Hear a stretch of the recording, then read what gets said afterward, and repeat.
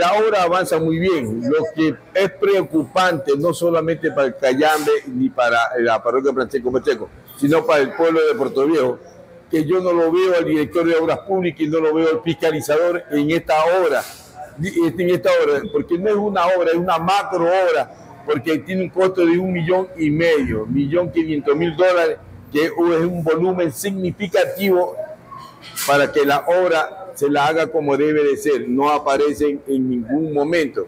Y eso es lo preocupante. Punto dos, el alcalde el 14 de febrero que se colocó la primera piedra en esta reconstrucción fue claro, conciso en decir que el 90% de la mano de obra eran con los ciudadanos del sector. Pero lastimosamente una persona no ha ingresado a trabajar cuando usted vaya, señor periodista, y él se cuenta que hay como 25 a 30 personas. ¿Qué significa? De que no le están haciendo caso al señor alcalde, que es la máxima autoridad de Puerto Viejo. Y es quien el contrato se lo entregó al consorcio Cayambe.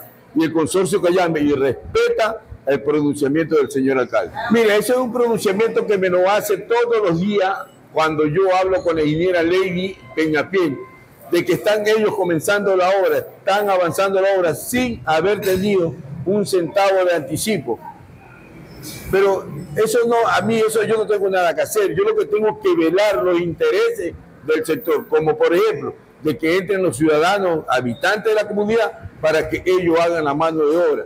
Ahí hay 20 personas, significa que ellos le están pagando, ellos están solventando el, costo de la mano de obra de estas 20 personas y cuando no han puesto ninguno del Cayambe. Entonces, eso es la inquietud que tenemos nosotros. ¿Qué le va a dar inconveniente a ya que pidieron que la mano de obra sea de localidad? No, escúcheme, eso no es ni para que el señor alcalde se lo dijo públicamente porque todo y cada una de la obra, en los sectores que se construye, la mano de obra la hace la comunidad del sector. Y yo no creo que el señor alcalde esté fallando en esto, pues porque el consorcio Cayambe está haciendo lo que le, da la gana a ellos, porque no pueden al elemento humano cuando hay, una un pronunciamiento del señor alcalde.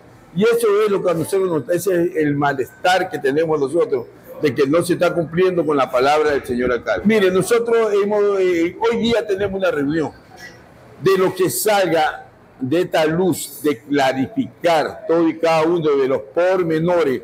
En caso de que no se dé a favor del Cayambe, automáticamente el día lunes no vamos a tomar la obra. No estamos amenazando, sino que no se está cumpliendo con el pronunciamiento del señor alcalde y eso a nosotros nos incomoda porque no es cualquier cosa, son un millón y medio, millón y medio que puede generarle trabajo a toda una de las personas que viven en el sector para que puedan llevar su bocadito a su casa.